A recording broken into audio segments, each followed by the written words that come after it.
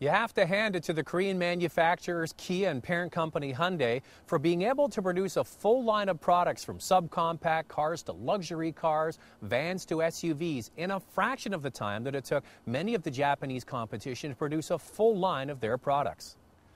Here's another example of Kia trying to fill the needs of average Canadians. It's the brand new Kia Borrego. It's a mid to full size SUV with seating up to seven people. It has 4x4 capability and is powered by either a V6 or V8 engine.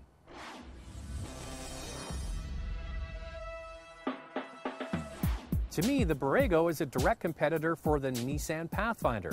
It looks similar, it's a similar size. The Pathfinder has three rows of seats and two engine choices. The Pathfinder and Borrego have the same starting price at just over $36,000. I even think the Borrego kind of looks like the Pathfinder. The conservative styling won't attract a crowd, but it won't offend either. The chrome grille is simple, but the headlights are aggressive enough. V6 and V8 models can be equipped with 17 or 18 inch wheels depending on the trim level. I think the nicest styling touches the wraparound rear lights that remind me of the Volkswagen Touareg. Liftgate goes up manually. There's no power liftgate available in the Borrego, which is a bit of a no-no in this era. The back seats, the third rows are up, so you get some storage space behind there. You have a little more underneath. To put the seats down, you pull the lever, down it goes, pull the lever, down it goes, no problem, right? Lots of cargo capacity, a big vehicle as you would expect. Now, getting the seats up, there's no strap to grab onto, so you have to reach all the way in and pull this up. Not a problem for me, but if you're five feet tall and you don't weigh very much, that's going to be a bit of a challenge. The back seat suffers from the same problem we complained about with the, you guessed it, Pathfinder. The legroom is disappointing for a truck of this size. This is done to accommodate the third row of seats, which are adequate for short trips, but getting in and out is a bit of work.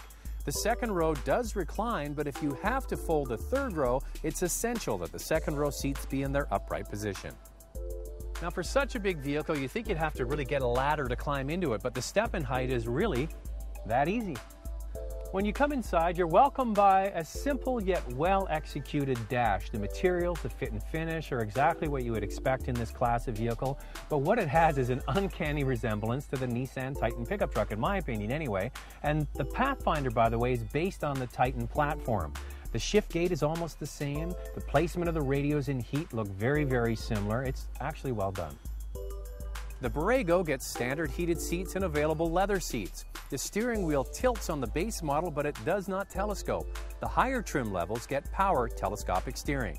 Steering wheel mounted radio controls are not standard on the base model. There's no navigation system offered, and Bluetooth connectivity is also not offered. Satellite radio is included on all models, and there is an input for auxiliary media players. Well, just like the Pathfinder, this Borrego is a truck-based SUV, and that means it has a real chassis and then they bolt the body on top of it, unlike a crossover where the chassis and the body is all one. It's called unibody construction. This allows potential owners to do some real off-road driving and tow more than a crossover. The Borrego can tow up to 5,000 pounds with the V6 and 7,500 pounds when equipped with the V8. The Pathfinder, in comparison, can tow 6,000 pounds with the V6 and 7,000 with the V8. All right, with all this talk of V8s and V6s, let's get down to details. The V6 that's offered in the Borrego is a 3.8 liter unit, and it produces 176 horsepower and 267 pound-feet of torque. The V8 is the same V8 developed for the Hyundai Genesis luxury sedan with a healthy 337 horsepower and 323 pound-feet of torque. The sound from under the hood is reassuring and never intrudes too much into the cabin. The V6 gets a 5-speed automatic and the V8 a 6-speed. As you mentioned, this is a truck-based SUV with a real chassis running underneath here. And typically with this design, you don't get the best handling and road manners. They have done an excellent job with this Borrego.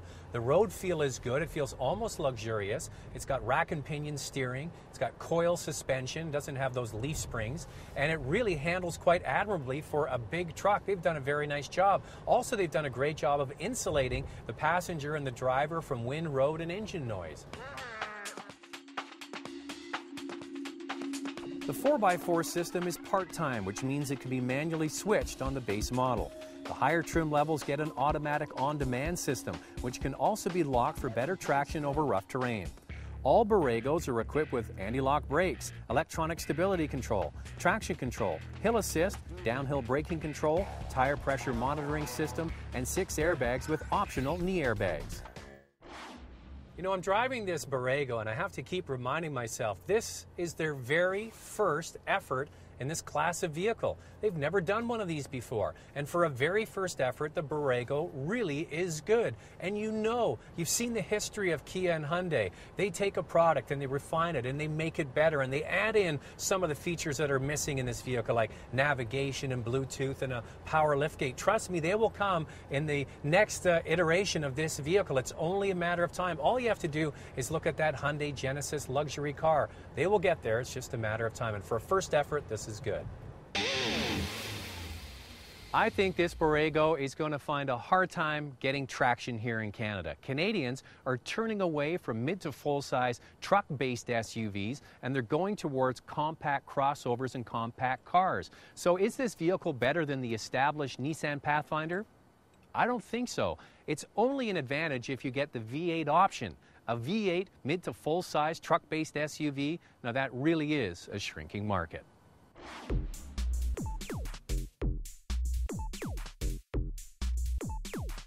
For complete specs, go to our website at drivingtelevision.com.